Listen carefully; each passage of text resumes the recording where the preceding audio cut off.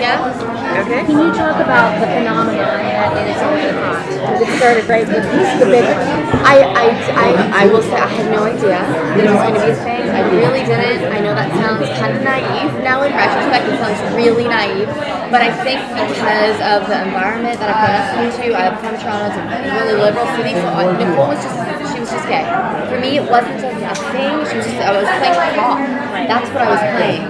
And I think that was great because I think if I had had any idea, it would have maybe psyched me out a little bit. Um, but I think the best way she can be played is she's that's it. She's a cop. That's it. And I think um, that's why it resonated with people because it wasn't a thing. And in, in a weird way. Um, but I think I've received so much amazing feedback from fans. I've seen cosplay of Nicole. When, when as an actor, when somebody comes up to you and says, "What you did made me happy. What you did made me proud. What you did made me see myself and feel great about it," that's the, the best response you can ever get from from an audience. So um, I am thrilled, and I am gonna just try my best to represent it the way it should be should be done and, and, and do do her justice. Yeah. How early did you know this is where kind of the storyline was going? Because I mean, it's sort of in the first scene, but you don't really know that it's going to I had no idea. I had I had just as much of an idea as the audience did because I um, I'm reading the script. I was only supposed to do six episodes, so I'm just reading the script. I, like it's you know when you're watching it and you're waiting for the next thing to come out. It's the same for us reading the script. We're just doing it a few months before. I had no I didn't know. I, I thought maybe they would get together and that would be interesting, but I, to the extent of which I didn't I didn't yeah. Um, at the end of the season, Dolls welcomed her into the Black Badge, and what's going to happen now that he's been arrested? Where does Nicole go? From here? Where would you like her to go? I, I'd like her to help him get out of jail. Yeah, I, I, I, I think um, I'd like her to go and, and help everybody and be part of the team. Yeah, definitely. Prison Break. Prison Break. That's what I would like. Yeah. that in the cards, I hope so. I hope so. I mean, I know Emily um, has a lot of ideas of what she wants to do with uh, if we were to go to season two. Um, and I know that uh, we got to get dolls back. So I'm assuming there's going to be some somebody's going to go get them. Hopefully, I don't know how long we can leave them in there. So yeah. Um, will we get a chance to explore her past and uh, especially why she became a cop? I so. I don't know. It's not up to me, but I would love. I would love to see that side of her. I would really love to um, to learn more about Nicole's past. I really don't know anything about her. I mean, I have ideas as the actor that I've just kind of made up for myself, but I uh, I I don't know. Yeah. What are some of your ideas that you kind of come up with? I think she came from a big city. Uh, I think her Purgatory is a very fish out of water feeling for her. I think she's handling it beautifully.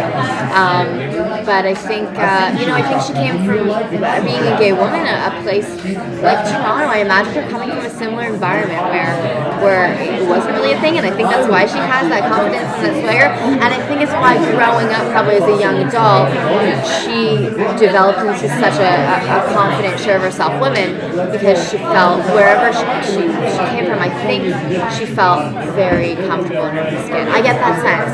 The flip side might be that it wasn't at all the case, and she had to really rebel against uh, whatever. So it's, it, I think it's one or the other.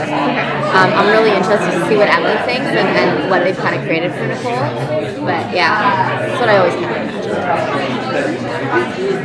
Uh, no, I was going to add, one of the things that was very interesting about Officer Haught is she wasn't just in scenes with Waverly.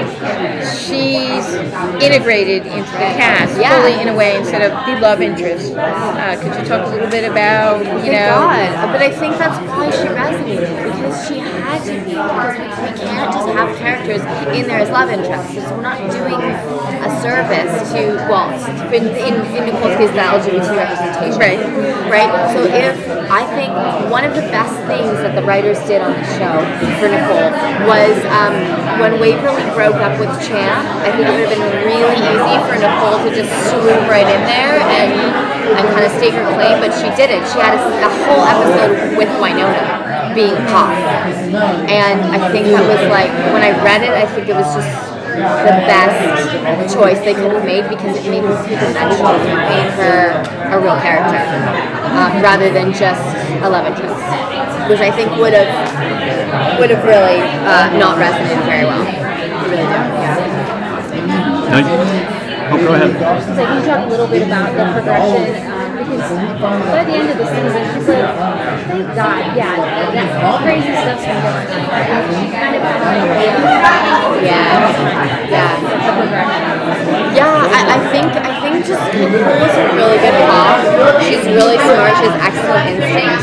So I feel like she picking up on this for a long time. I also think maybe she found some stuff around the office. I'm not above thinking she's got a huge moral compass, so I don't think she would do anything that she isn't supposed to. But I maybe she stumbled upon a few things, like some black badge documents that maybe got you know mixed into the paperwork or something. I don't think she would have gone into black badge because she's got such a moral center.